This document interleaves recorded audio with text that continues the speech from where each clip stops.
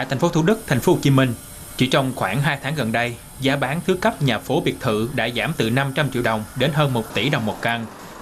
Trường hợp một số căn cần bán nhanh thoát hàng, giá rất mạnh từ 30 đến 40% giá trị. Xu hướng giảm này còn lan rộng ra một số tỉnh giáp ranh như Đồng Nai, Long An và Bình Dương. Khi mà những căn ờ, biệt thự, những căn nhà phố thì có mức giảm từ 500 cho đến nhiều tỷ đồng tùy vào ờ, mỗi giá trị ờ, của bất động sản đấy. À, đặc biệt là à, thông thường thì nó sẽ giảm giá khoảng tầm từ à, 20 đến 30% tùy ở vị trí và vị trí thì càng xa trung tâm thành phố Hồ Chí Minh thì lại giảm càng nhiều. Còn theo ghi nhận một số sàn giao dịch trực tuyến, mức độ quan tâm nhà phố biệt thự các tỉnh phía Nam trong 9 tháng đã giảm sắp xỉ 50% so với năm ngoái. Dù số lượng nhà bán tăng lên trong quý 3 so với các quý trước, nhưng sức mua lại giảm mạnh từ 50 đến 60% so với cùng kỳ trong giai đoạn mà thị trường gặp khó khăn, đặc biệt là những cái áp lực liên quan đến đến cái à, dòng tiền à, thì đâu đó là một cái lượng lớn à, những cái nhà phố biệt thự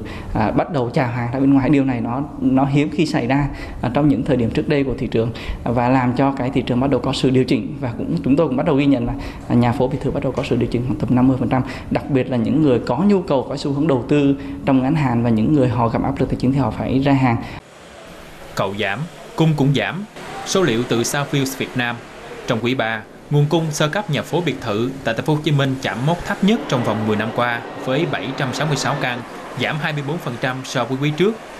Đáng chú ý, các sản phẩm có giá bán trên 30 tỷ đồng một căn chiếm đến 86% nguồn cung. Đơn vị nghiên cứu đánh giá, với sự đầu tư về cơ sở hạ tầng giao thông như vành đai 3, được kỳ vọng sẽ giúp thúc đẩy nguồn cung trong thời gian tới.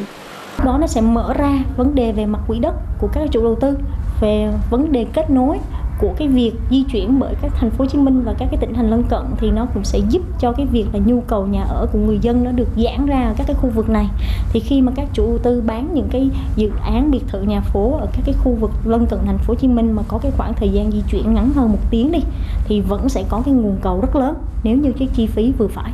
Đồng thời, lãi suất cho vay giảm và các chính sách gỡ khó về pháp lý của các địa phương cũng được kỳ vọng cải thiện nguồn cung trên thị trường. Dự báo từ các đơn vị nghiên cứu, phân khúc nhà liền thổ sẽ dần ổn định vào đầu năm sau. Đặc biệt, đối với những sản phẩm có giá trị sở hữu lâu dài và tăng giá ổn định vẫn được người mua quan tâm.